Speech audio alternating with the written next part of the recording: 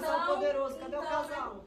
Meu amor, eu prefiro estar solteira hoje do que viver um relacionamento tóxico, igual você vive, e dar, pra, e dar de cima pra Tóxico baixo em o rede quê? nacional, Ah, dar você dar Quem foi chifruda não foi o Então, Bruno, não. Meu foi amor, você, não foi amiga. eu, não, meu amor. Você não tava sabe na disso, balada né? É...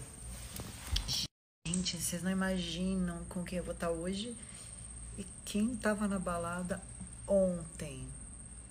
Alô, hein?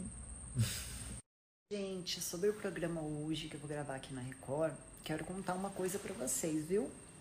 Notícia boa. Talvez não vá ao ar porque, né, não, não cabe dentro do programa. Mas hoje eu iria ter um, um esquenta do Power Couple com Márcia Felipe. Seria o nosso primeiro encontro fora do Power. Ela sim que foi a minha grande rival. Ela sim que criou o grupo do, do Passo Pano, aquela porcaria toda. Mas ela amarelou, ela não quis. E aí tiveram que chamar tapa-buraco. Tapa-buraco é a pomba, né? Então a pomba vai tapar o buraco hoje.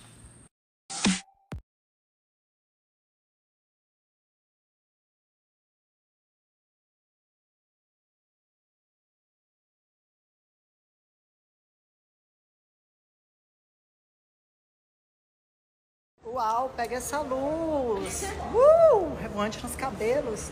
Assistam Hora do Faro, Rodrigo Faro. Vai estar muito bom, tá? Tem minha participação, mas tem quadros maravilhosos. Com ele que eu amo, nosso rico. Amei, abracei ele finalmente. E agora bora pra casa cuidar do fofinho, né? Beijo.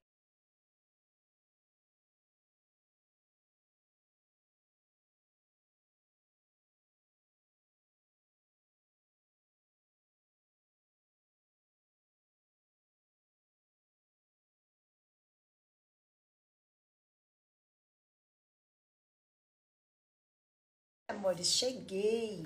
Eu não pude me pronunciar primeiro para as pagininhas de fofoca, porque eu estava gravando o Rodrigo Faro.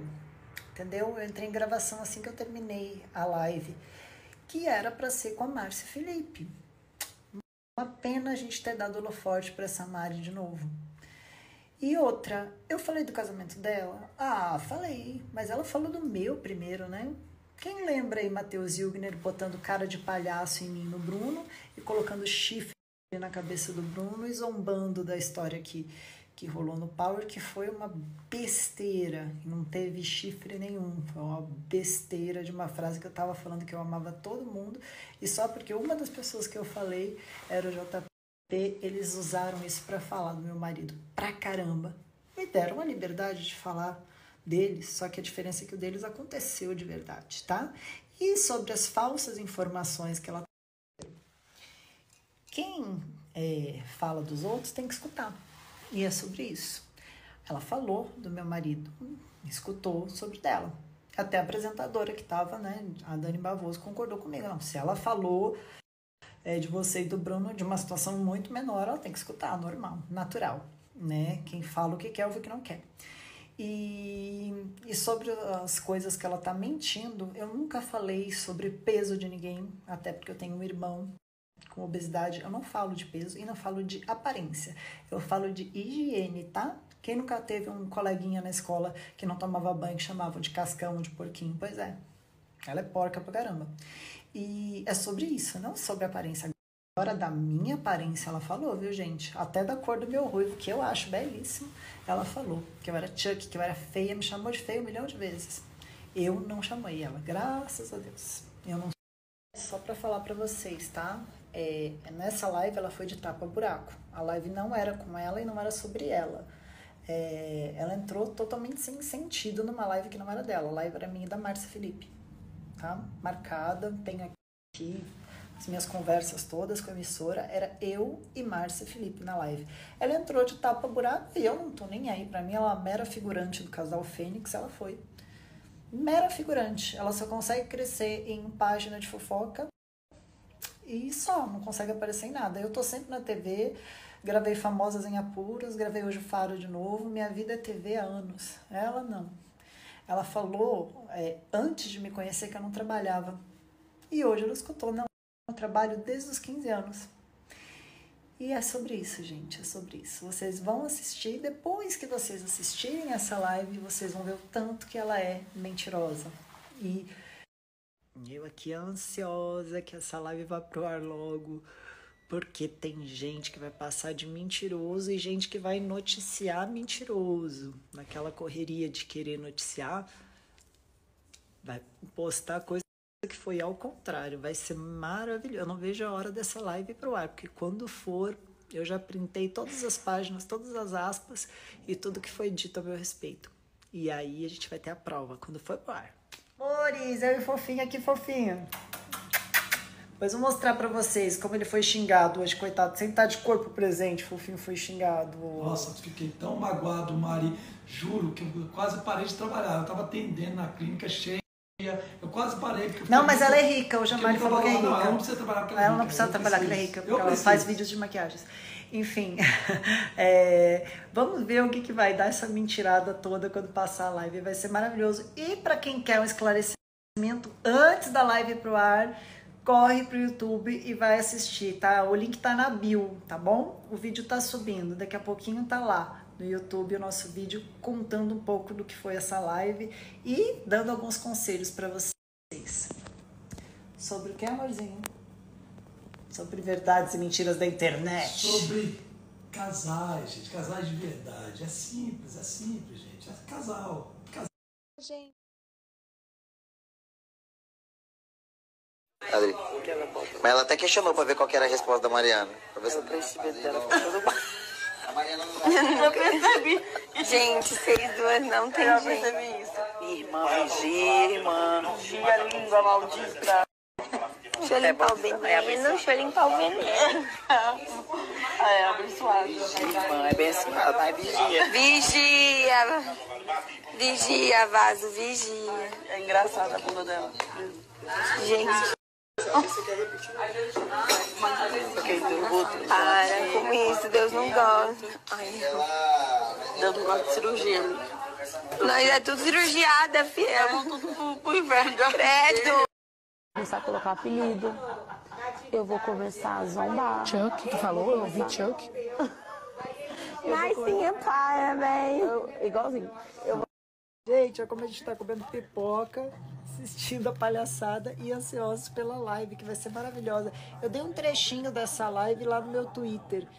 Tá maravilhoso, milhões de visualizações aqui, ó. Obrigado, páginas de fofoca. Mentindo ou não, vocês só me engajam, eu tô sempre aí, né?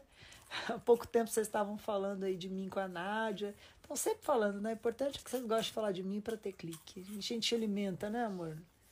Alimenta que a Olha, tô pipoquinha. maquiado. Tô, tô maquiado. E é isso. E hoje eu postei uns videozinhos para relembrar, relembrar e viver, né? Para os falsos moralistas, hipócritas, que são meus fãs também, que estão sempre comentando. Por onde eu passo tem comentário desse povo, né, amor? O povo que, que segue minhas matérias sempre dá beijo, beijo, amor. Comenta aí minhas coisas, porque eu não comento as suas, porque eu não perco tempo. Beijo, meus amores. Ó, estamos comendo pipoca, só assistindo e loucos para que a live passe para vocês. Ai, gente, tem uma coisa babada de confusão.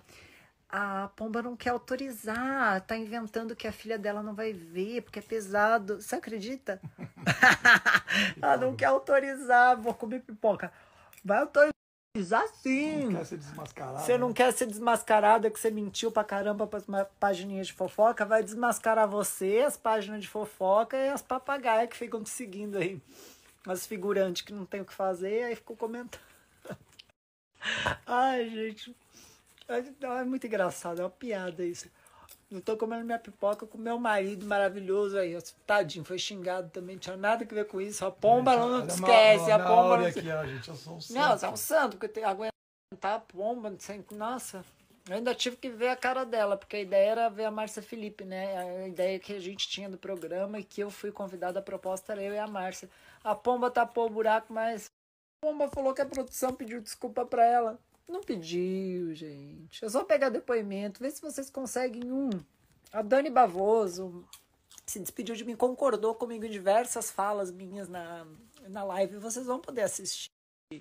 Relaxa, gente. É, Gente, a vida desses dois é uma mentira, gente. Você Ah. pode até gostar deles não gostar da gente, mas que a vida desses dois é uma mentira. Essa menina só fala Mentira. Ela é ela mentirosa. fala. Não, ela, é ela falava que eu era vitimista. Cara, tô fazendo um vitimismo porque participou de uma Ela live. pegou o telefonezinho já ligando pro site de fofoca. Enquanto eu tava gravando o Faro. É.